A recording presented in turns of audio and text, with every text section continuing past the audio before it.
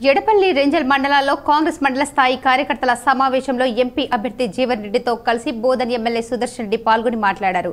రానున్న లోక్సభ ఎన్నికల్లో కాంగ్రెస్ పార్టీని గెలిపించాలని కోరారు. డిచ్పల్లి ఇందల్వై మండలాల్లో అకాల వర్షంతో నష్టపోయిన పంట పొలాలను కూలిన ఇండ్ల బాధితులను Nizamabad rural MLA doctor Bhupath Reddy పరిశీలించారు.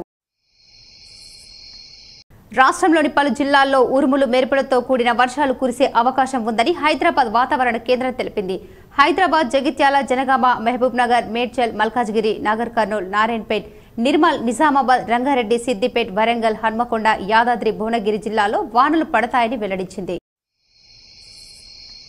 నిజామాబాద్ నగర్ కాంగ్రెస్ పార్టీ అధ్యక్షులు కేశవేణు ఆధ్వర్యంలో లక్ష్మీ కళ్యాణ మండపంలో ఏర్పాటు చేసిన అర్బన్ నియోజకవర్గ కాంగ్రెస్ పార్టీ నాయకులు కార్యకర్తల సమావేశం జరిగింది.